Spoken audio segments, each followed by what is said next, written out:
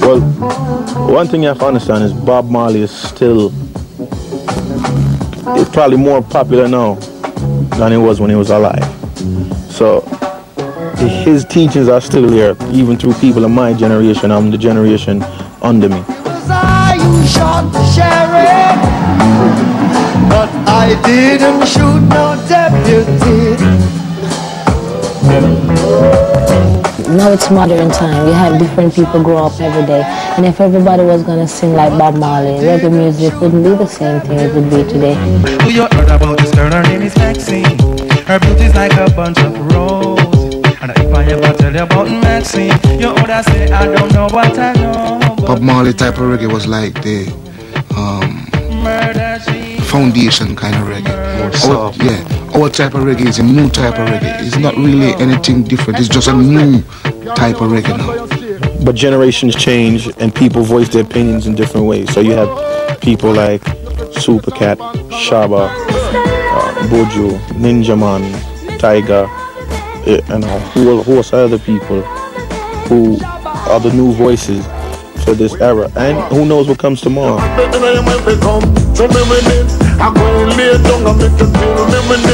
Because that is my favorite habit And when me lay down, you know me not run from it Them call me miss a lover, man, they call me miss a lover Miss a lover, man, they call me miss a lover They call me miss a lover, man, they call me miss a lover I would say excitement about reggae in New York began in the mid to late 80s. And that's really the birth of contemporary reggae dancehall in this area. the, the hip hop thing come in, the, um, it started like when the, the first, when I do the first um, Columbia album. Um, run, the first Randy, Run-DMC album, King of Rap.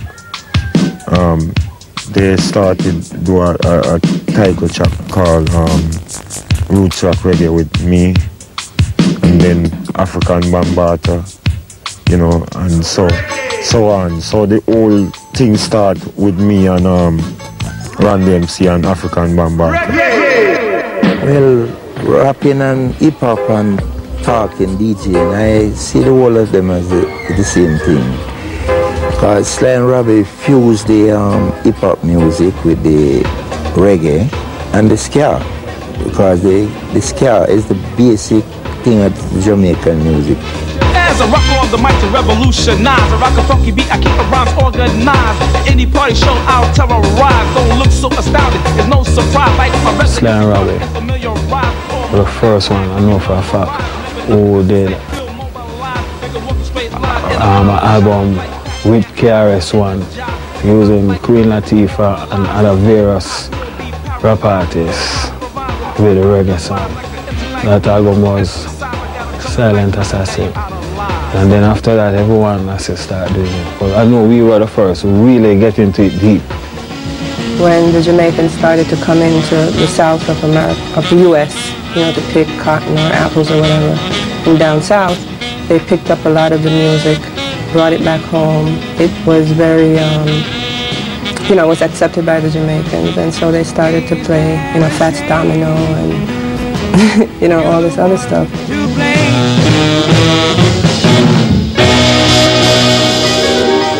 As close to the water as you wish, you may live comfortably, modestly. Jamaicans are happy to serve. The Jamaican music came about out of the spirit that we needed identity and respect other than the calypso mento. So it was Jamaican music which had a tinge of blues and rhythm and blues and a bit of uh, Latin. And uh, this is what I grew up listening to. And then how it became ska is out of all of these forms that existed that we were listening to. The lion says, I am king, and I reign. Just from the reggae. See, it used to be a, a music almost like a like a half blues. We used to play before mm, the scare start, you know. Even people like Joe Higgs, Janana, Janana, Nana, Janana, Janana, na. you know that music. We used to play that plenty. So um, from there now it developed to people start ching, ching, ching, ching, ching for ska, you know. And then for um, rocksteady it's like jing, jing, jing. For reggae now it's jack, jack, jack, you know. So you have three different feel.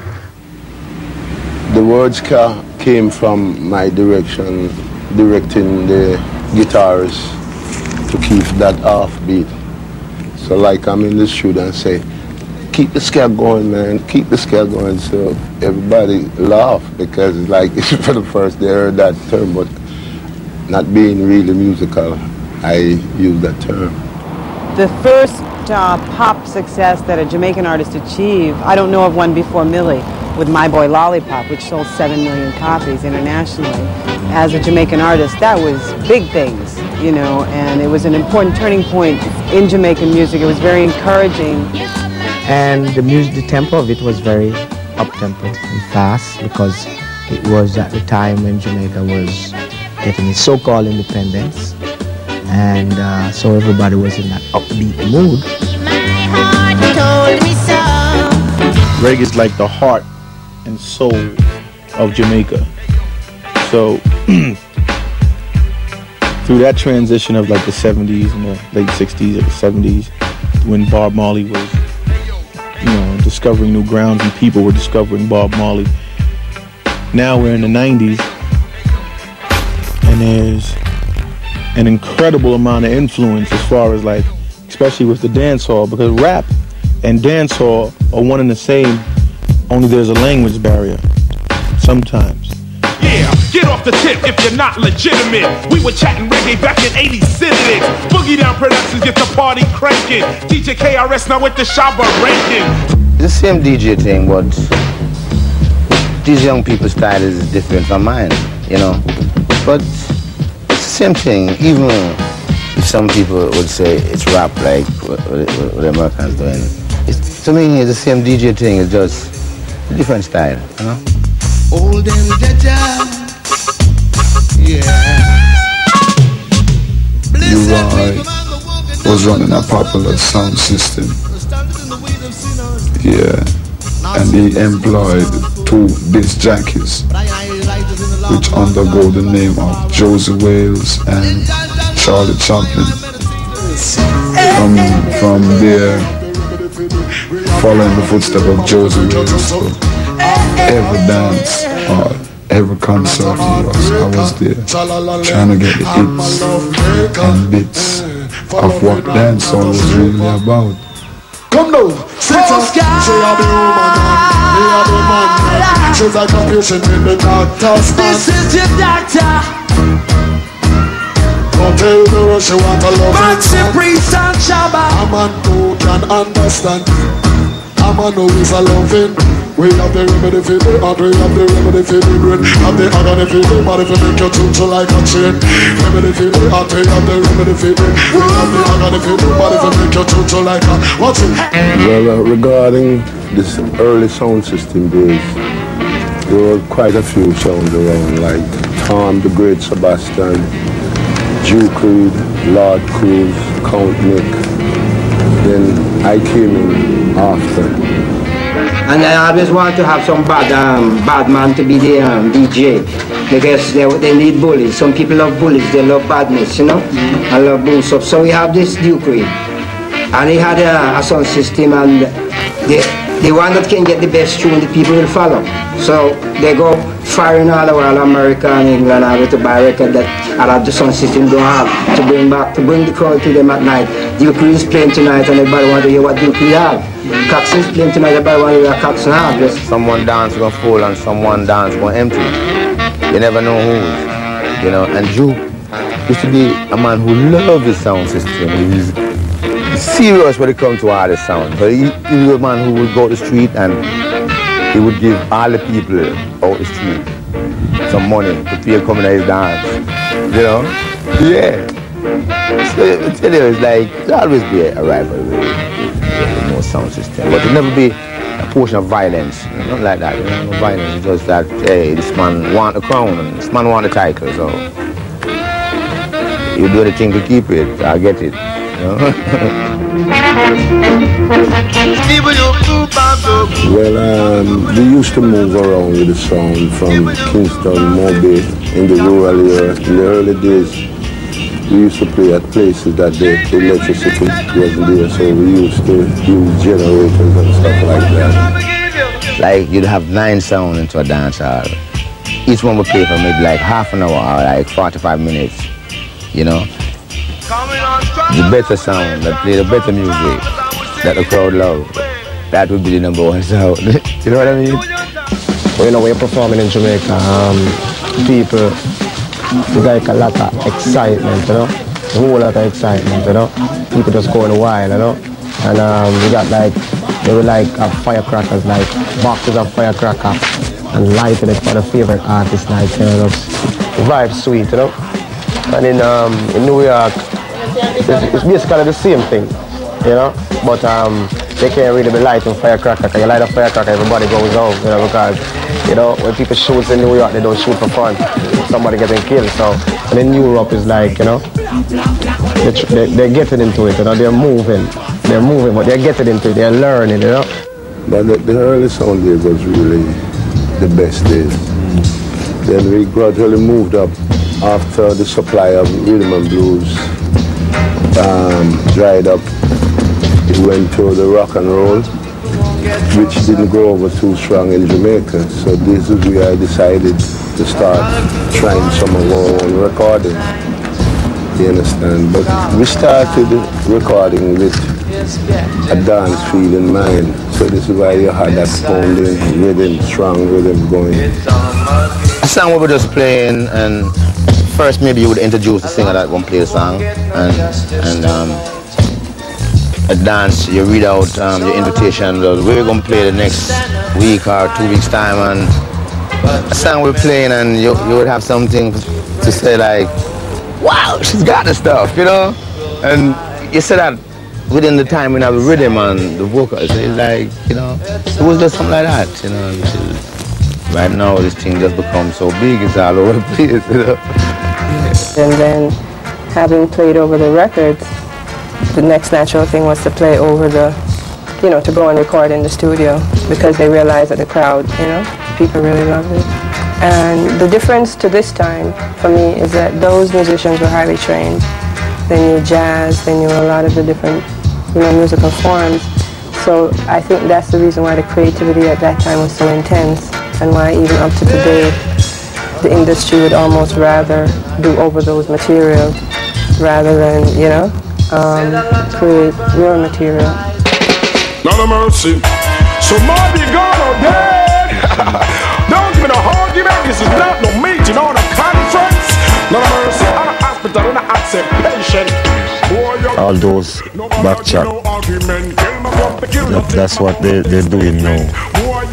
Because um, they, they, maybe they're getting tired of the, um, you know, boop, boop, boop, boop, you know, so they, they start using the, um, the old rhythms, like the studio one, Cox style, you know.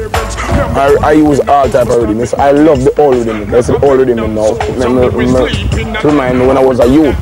Like I said, you ride them big, big you them now. One time you see them on certain studio ride with them. Give me the vibe. So it's when we hear them again now. Them give me another vibe. So it's happening a lot now. It never used to happen that much before. People used to just maybe rhythm like two or three times and that's it. But now you have a whole album with the same rhythm. Right now, you know. It is said that it all originated here and became rap in America. I don't know, it probably is so. But I think it developed here with a whole sense of competitiveness. From the era of Dodd and Duke Reid, they had sound systems and they were competing against each other. It moved to era of, um, you know, having so many different versions of one record for one sound system have what the other didn't have. And then moved to another level where they had different, you know, artists coming to, you know, badmouth the other down in a whole competitive spirit. One of the pioneers of rap is a person by the name of Kool Herc, who is a Jamaican, who brought this here. And, and you know, I've never really sat down and dealt with Kool Herc on this matter, but he's like the godfather of rap, you know, from the Bronx, but he was, you know, he's from Jamaica. and he came up here and was playing all kind of music. And you know like with the early DJs and stuff back back Big Youth and them guys and them by them guys playing them type of records I think definitely influenced kids starting to grab the mic and start rapping. You know what I'm saying? With the Zulu Nation days and you know Cold Crush Brothers and all them original rappers. You know what I'm saying When we link in the six months and glacker Work a ill man not take back chatter Supercat is even more of uh, a product of this this way that the dancehall has come in because he basically was living here, you know, between here and Jamaica. Had got into the underground here with the hip hoppers like Heavy D, all of them were into him. My hood as a youngster, the headstep was never a punkster. No sir, no ma'am, hot damn. Me and Michael Jackson jammed that that soul train, not American bandstand. The bigger nigga is back and I'm on the right track. As a matter of fact, come on. And it's the same thing. Like in rap, we took music from that was old. You know, even when we started, and in the parks, on the, we used to rhyme off it back and forth. Same thing in the party. DJs would go up and they would take a record that was already made, put it on the B side, the dub side, you know, and just DJ off it. Same thing. The two turntables, the echo chamber, everything is the same exact thing. Tell me y'all, who's the man? Who's the man?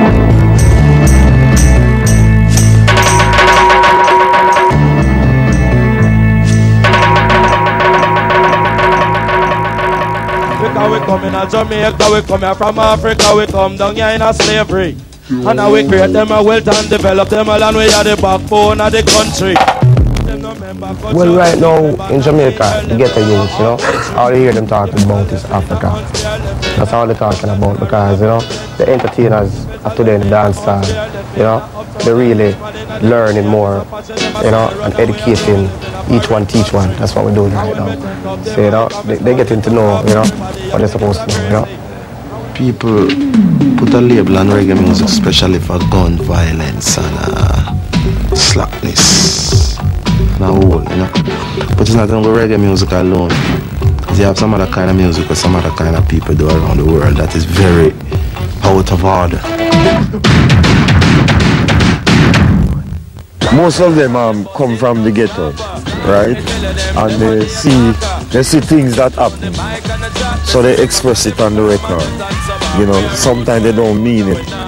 But to other um, people, you know, they can take it personal.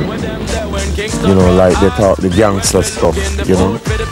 Like Big Mac 10, you know, like Bounty Killer and, you know, Ninja Man and Beenie Man, you know.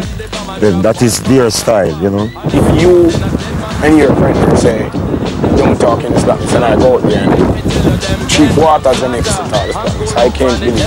I have to follow Chief Waters. Because if the whole world I go so, and me alone I go so, me don't know where I got.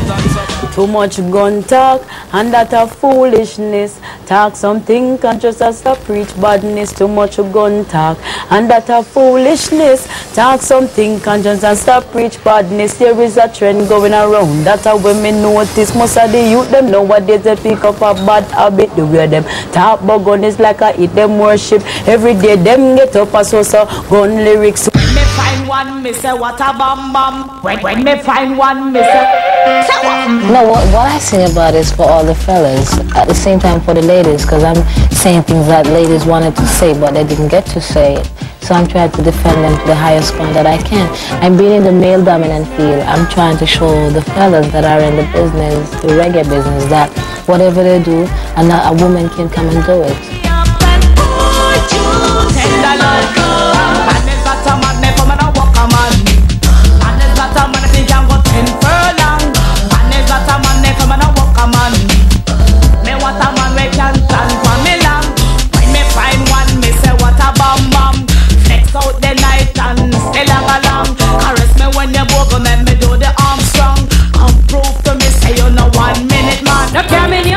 Yeah, I get a fair deal because it's just the way, as a woman, just the way how you present yourself, the way you carry yourself to let, you know, people respect you, you know? you have to move militant for other people to respect you. If you don't move, you know, a decent and all them stuff, they won't really, you know, respect you. I bring sex in the dancer. So I mean, uh, which is what here they call slackness. But I don't call it slackness, you know, because everybody make love, you know. So that means everybody is slack. I don't agree with the the lyrics that they're talking about woman, downgrading woman. You have a lot of things that you can talk about woman and uplift them. There's love to you, what I'm saying. In fact, this doesn't offend no females out there. I love my mama too much to disrespect a lady. I be just saying what girls want to hear me say, so I ain't gonna stop until they say stop. We have a chill a load of girl down We need a customer visa to help clear them up Chill a load of girl down We need a customer visa to help clear them up I mean, I respect nobody, man. Me no respect no lesbian. And me no apologize to no batty boy. Cause me a Rasta. Lord of mercy, imagine, look how the woman them big and fat. And you want put your thing in a man bad, bad, bad. Back up and I don't know what's getting to um, these young DJs because um, they intend to, um, you know, like what you would call it, um, like tease people, you understand? And um, in my time, we, we, we, if we don't like a person, we don't talk about the person. You understand? I myself agree towards changes. I believe in changes. But believe in changes and try to maintain that constructiveness within the changes. You know? Change for better, but not for worse. But then again, you know, you can't even blame these youths for, for some of what they're doing because that's what the public buying, you know. So, and, and moreover, it, it, it, it's, it's a way of them for making some money because quickest thing to find to make some money, they're gonna make some money off it. And, and I even agree with that more than if they would take up a gun and go and stick somebody up and or shoot somebody and take their money, you know. So I respect it, you know. But between the day you born and when you die, never seem to hear even you cry. So as sure as the sun will shine, I'm gonna get my share. What's mine? The original story of the Harder They Come was based upon the first outlaw in Jamaica, who I used to know about in school as Rhygin. The, word Rhygin means somebody who's bad, real bad. You know. Rhygin means hot. So him say, you see that guy there? Don't trouble him, cause him Rhygin. So, you know. Well, the oppressors are trying to keep me down, making me feel like a clown. He had uh, run-ins with the law, the police. He actually killed police. And uh, there was this aura around him, like he had some mystic powers, because he knew when police were coming and he was able to disappear and that kind of thing. What's mine? I'm a loot, I'm a shoot, I'm a wear. Ashanti go. Root by the propagation. Ashanti go. Root by a bomb up the town. Go. There is a spirit of revolution in, in the Jamaican people, historically. So not only due to Rhygin, but that still exists today. And that is why a lot of the music is, is a music of resistance, resisting against the system. Dark brown shade of my skin. Oh. Only add color to my tears.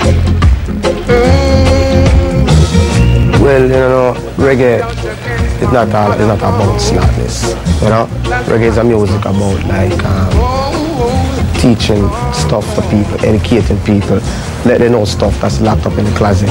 You know, educate the youngsters. You know, so when they grow up, they can be firm and know how to deal with the system.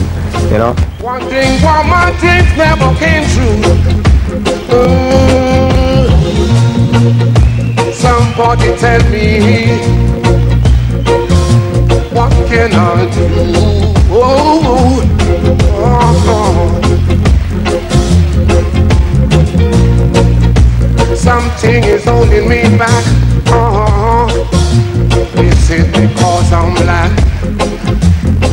Uh-huh. If many of us today was like looking back on the philosophy of Marcus Garvey and many more great men who were there doing some constructive thing, today people would be different. Today you wouldn't have so many misunderstandings, you wouldn't have so many environments, you wouldn't have so many crimes, yeah, you wouldn't have so many outrageous things, you wouldn't have so many desperate people. Marcus Garvey has been a prominent messiah, teaching us how to live upright, being just, being fair with each other, see the power of unity, and that's where the strength lies. What happened was when the music became reggae, we started looking deeper for the root of our culture, looking to, to the motherland, Africa. The music became more one of spirituality with the Rasta movement and everything. That's when the Rasta movement came into the music. You see, first, the people should know that Rasta is a concept and Rasta is a religion. And for instance, we wasn't dealing with music. You will always have that Rasta concept and that Rasta religion. Uh, it stems right the way back to David, to Jesus Christ, um, and we'll be all day trying to explain it, but basically it's Orthodox Christianity. Um, and through that I learned of the black history, the black culture, which roots and culture, culture is your culture, your roots is where you're coming from. So, you know, every religion, every nation, every creed and color has their own roots and culture, which if it's all found out, is all goes back to the same things. So for today, when one speak of Rasta, many young people thinking that Rasta is a style, or Rasta is a fashion, you know, or Rasta is a commercial thing, or Rasta is a, a material thing. No, Rasta is not none of those things. So Rastafari is, is like the main base of our culture and our music. Right? It still remains you know, part of it. One love, one heart. Let's get together and feel alright. I just, I, I, I really, I really took to them. You know, I took to them this, just this attitude that they had, and it wasn't, it could be con- conceived, I guess, to be uh, very aggressive or very negative, but I didn't really see it as that. I saw, I, I saw them, you know, they were, they were like real sort of rebels. You know, they were, they were prepared to, to uh, they were, they, they, they were ready to work, but they wanted to do everything pretty much on their own terms. You know. We were all in the same neighborhood. It was my, myself and Bob's idea because we kind of grew up together, you know, from as early as nine years of age. And we were singing, you know, as individuals and we talked about, you know, getting a group together, you know. Sometimes passed and suggestion came up again you know, and again. So we decided, all right, we're going to form ourselves into a group. So we start looking for other talents. That was where Peter came in. You know. Peter was always in the areas playing the guitar, singing and all that. The group was formed about 1961, late 1961. We did the first recording about sometime middle 1962, could be early, you know, which was, the first song was Simmer Down, which was a hit.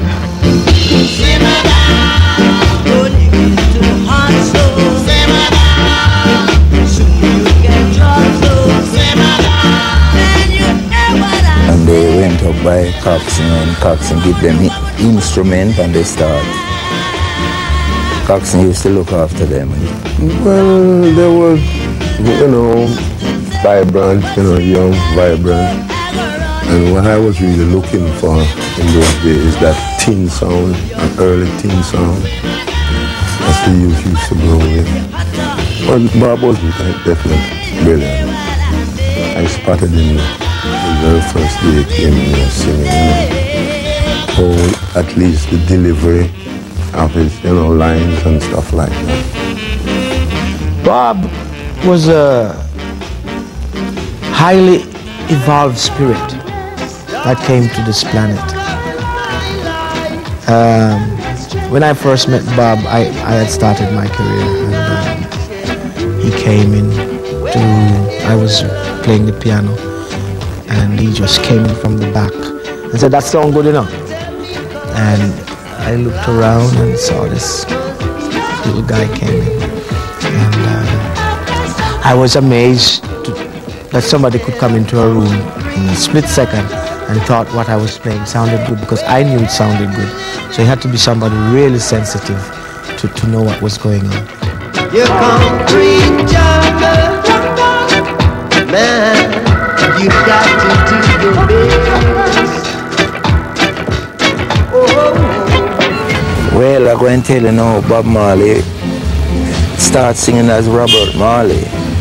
When Derrick Morgan and Prince Buster had this contest, they had a, they had a farewell show. And um, this youth come and they put him on the show to sing. And the people them clap him off the stage, boo him.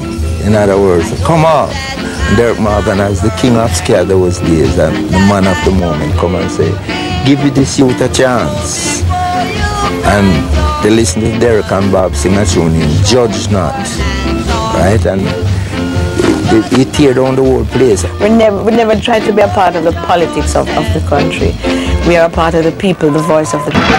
This is where it's all happening tonight. Rufaro Stadium in the black African township of Harare. Where in two hours' time, midnight in Rhodesia, this country gains its legal independence and becomes Zimbabwe.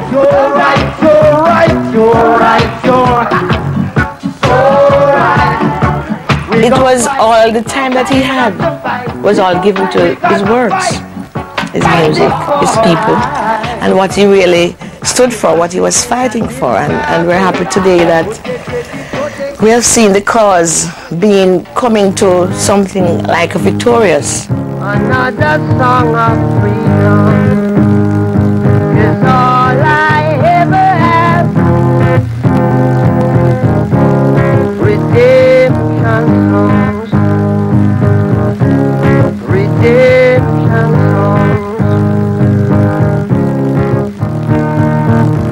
Bob music never gets old. It is like the generation now is even turning on to just bang his records. This is why he is still number one.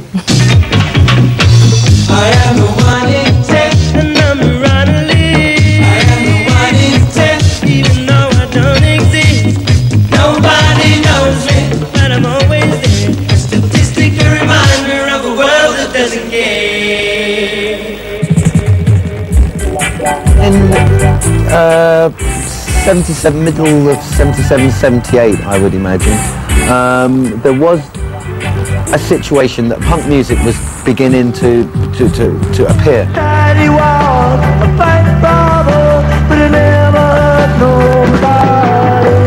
He just loved to live that way. He loved to steal your money. Um, a lot of DJs, people like Don Letts, who were DJs in the clubs at that time, didn't have enough punk records to fill out the nights. So he would play like reggae tracks. And it became, a lot of the, the, the, the people at that time were, were listening to the two forms of music, which gave reggae bands a, a, stage to perform on, i.e. places like Rock Against Racism.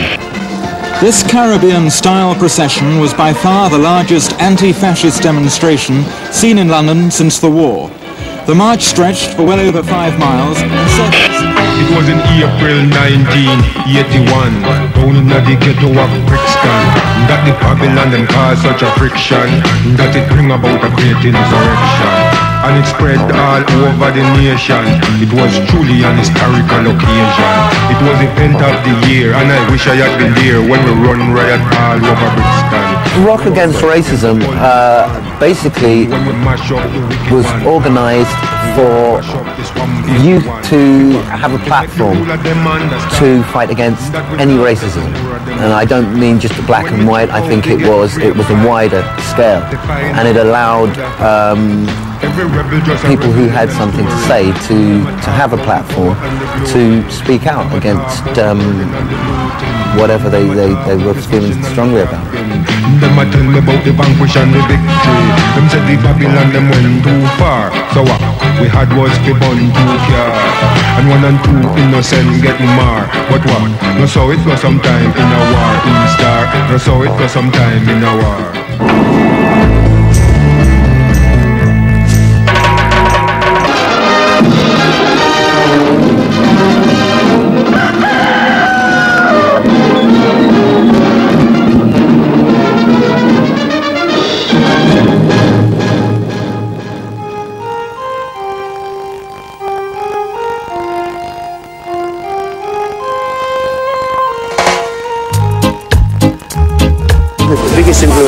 Contemporary music for the last 20 years now has been reggae, not so much reggae, but dub, and it's the dub influence brought about by reggae, you know, through reggae's evolution, right, from the Barrett Brothers to Sly and Robbie. It's really U Roy bringing the name and him don't even realize he brought in the name. One time you have a, about 20 versions of Slim Smith tune name um, Too Proud to Beg. But the rhythm was so good we make a lot of different versions. So when it come U Roy, I say one time, another version again. they start call the music version. Wait the town and tell the people about the musical days coming your way. Duke will tell Tubby that he, he want to see me, you know.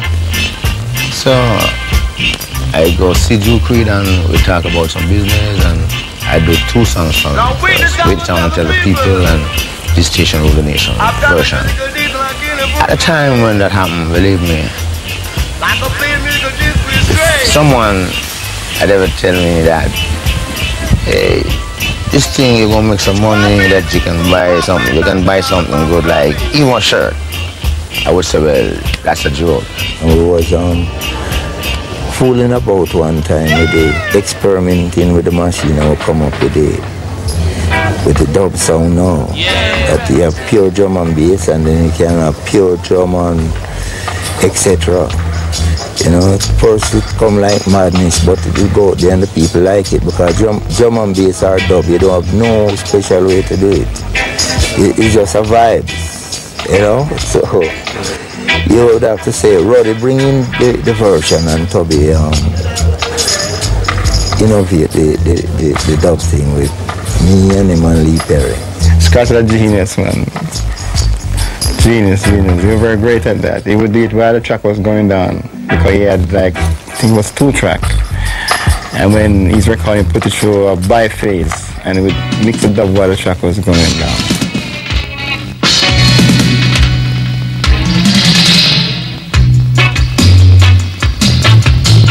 Guitar now, right?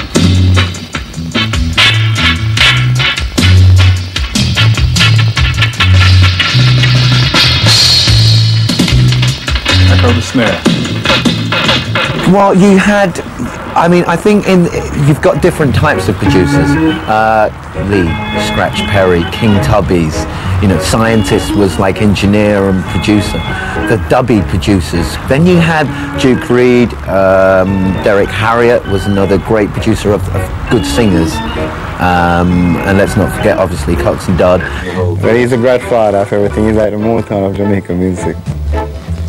Well, my advantage in the record business is because I've been dealing with sound from a youth, you know. Attending a lot of um, orchestra dances all over the city here.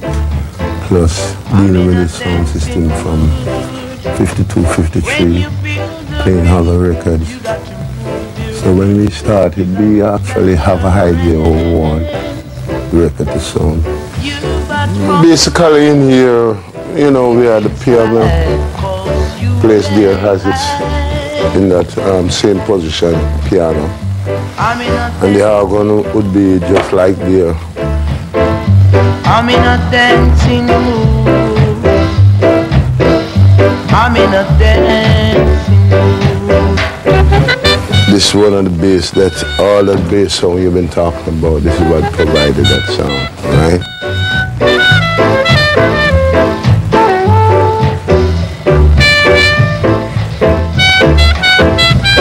this grand piano have been so good over the years.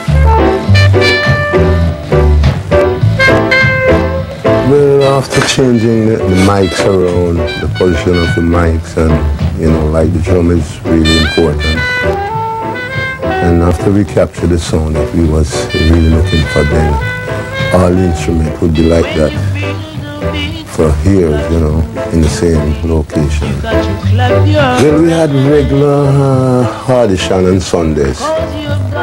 So on Sundays there would be like two, three hundred.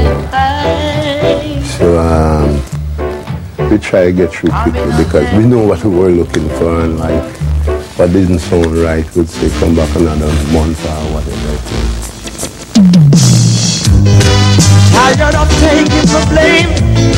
Might as well play the game. Well, I started out with um, Studio One, Sir Cox the Great, yeah. Um, this was back in 1963. Um, not that I'm old either, you know, but I started when I was seven years old. And um, been sticking in there ever since, really. You know, I spent most of my, my years at Studio One, um, which became like a university for me, really, because all the great entertainers were there. Um, from Bob Marley to you name one, from Jackie Mittoo to the greatest musicians. So it was really like a university at the time. I thought you'd drop me a line just to say hello, my dear. I'm doing fine. No, I wouldn't think he's a very strict producer. Um, Sadat is more um, an assuming person, you know. I have great ideas too, and dances around and try to build build a vibe inside the studio.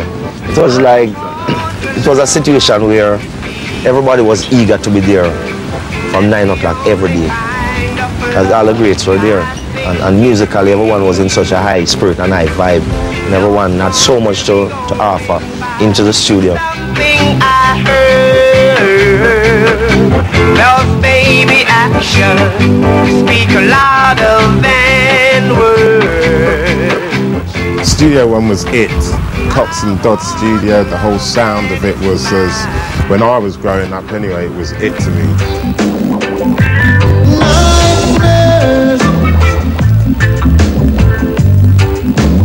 Only you alone can quench this Lovers Rock is predominantly um, an English interpretation of reggae. I think is probably the best way to describe it. It's a lot more sort of smoother and, as the title implies, lovers rock. Um, one of my favourite artists from the lovers rock scene is actually Caron Wheeler, who was involved with Brown Sugar back in the days, alongside a lot of other stuff. But it's predominantly British reggae music is, is where that term came from.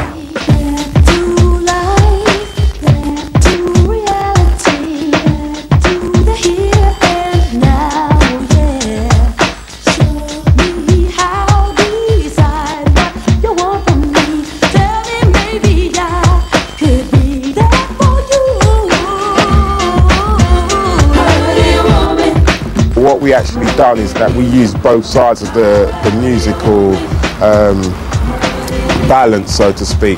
And one half was soul, Soul II Soul, and the other half was more reggae, which was more kind of lovers rock orientated, more what we call two-step kind of vibe. Um, and that's how we kind of got Soul II Soul together.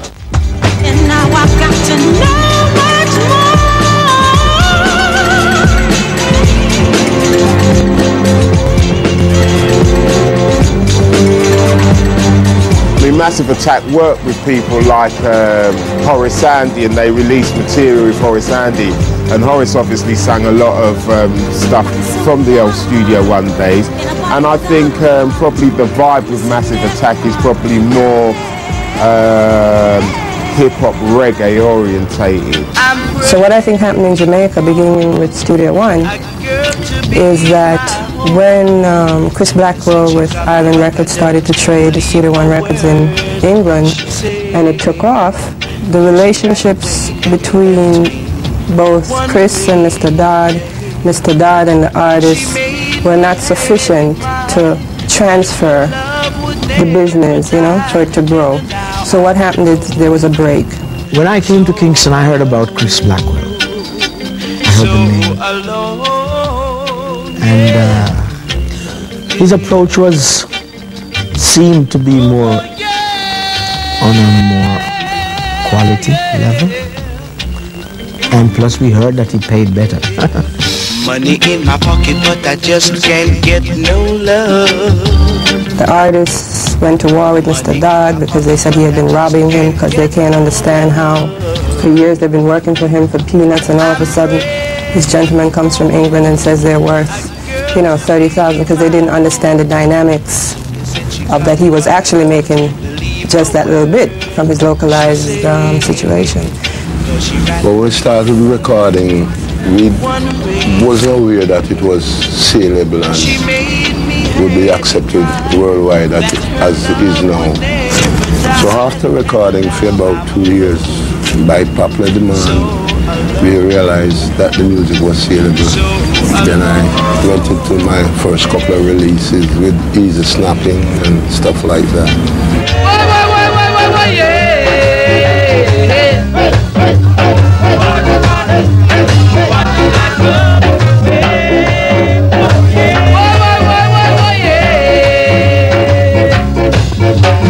Yeah, well, as you know, I started out 1967 for myself. What I was with True Breed and Cox and Prince Buster. And um, I start doing my own thing now. And from that, I kind of revolutionized the business. Starting putting musician name who, who play, start giving musician credit and see that they were well paid. record producers and artists. Thinking of a master plan. First time there wasn't any like paperwork, not like no. It was mostly like word of mouth. And in those days, pounds was heavy. So if you a man 10 or 15 pounds for the like two or three songs, it's a lot that. And you know, they would feel happy getting that money. The producer would feel happy or not happy, whatever way might feel with the song. So when the song come out and it sell, no agreement was made like say if it sell over X amount it costs in studio time and money paid out to the individual that they would collect a percentage after. So that was that. Even coming up to in the 70s, even now we have people still do it. It's not the artist alone that has the has the job to really make this music work or continue to work. It's it's who's behind the artist too at the same time. So this is why people like a Tuff Gong Records still continue. We have Mango Records in Jamaica and we have big labels who, who still has great interest in, in reggae artists today. You know, so it's going through the same steps that rap went through. And that, um, you know, they take time to learn the business and the more people that come along and, and you know, like, and you see how they run the business and they, they're getting educated and they're taking charge of their own.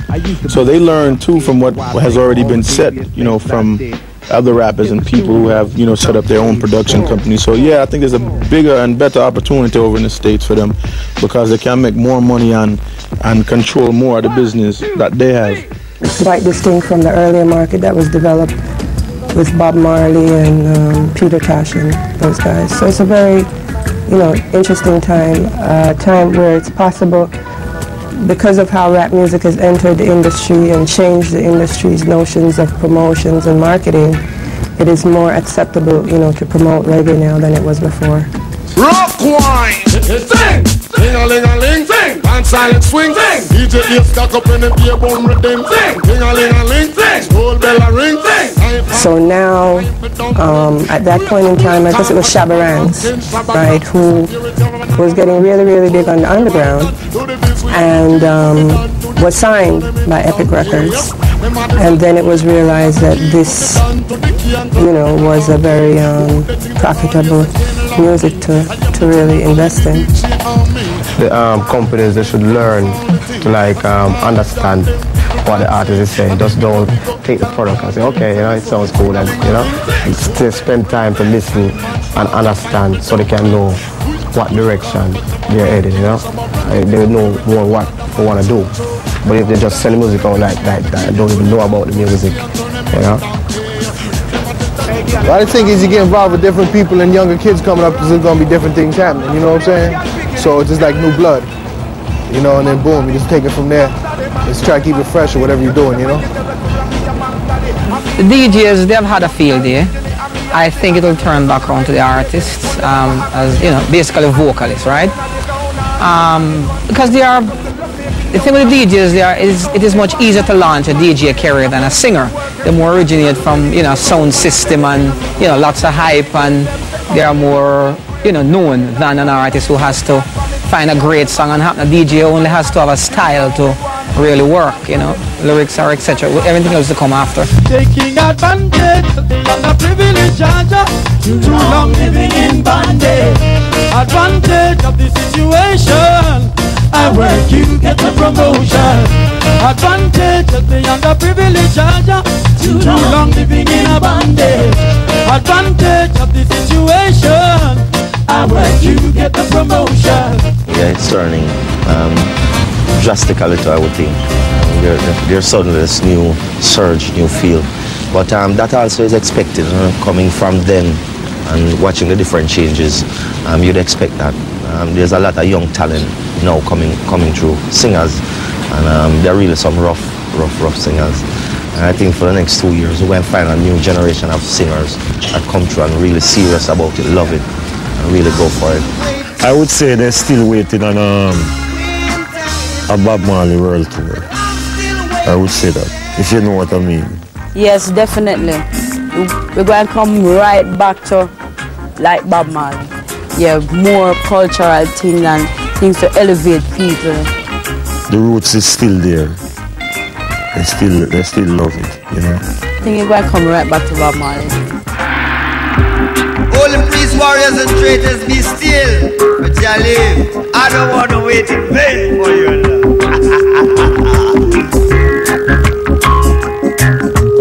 I don't wanna wait in vain for your love.